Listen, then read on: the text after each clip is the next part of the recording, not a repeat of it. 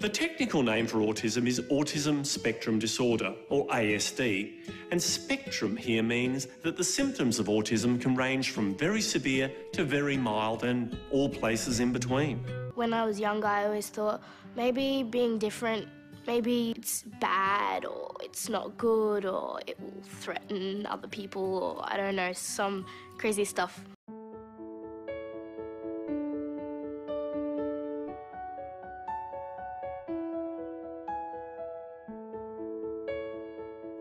It's not like a virus or a bacteria, it's just a condition of the mind, and people aren't going to have things jumping out of your mind for your skull.